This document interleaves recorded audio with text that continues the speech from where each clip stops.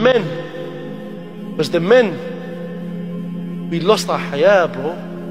We have no shame anymore. We're doing things, and like I said this before, there was a brother that came to me after one of my talks. He goes to me, Akhi, guess what, bro? I'm scared for my sister. My sister's going down this avenue every time she leaves the house. She jumps in a car. So by the time I get to the car, the car's driven off. So I don't know if it's a male or female. So I'm trying to spy on my sister, but Akhi, I said to him, Akhi, do you do anything Islamic with her? He goes, not even, bro. I said, do you take her to talks? Nah, bro, not even. I said, Akhi, do you allow her to be around good sisters in the masjid? Not even, bro. I said, Akhi, what are you doing as, your, as a Muslim brother in order for her to move forward Islamically and is obedient to Allah subhanahu wa ta'ala? You know, he said to me, my man turns around and goes to me, yeah, bro, she's best friends with my girlfriend.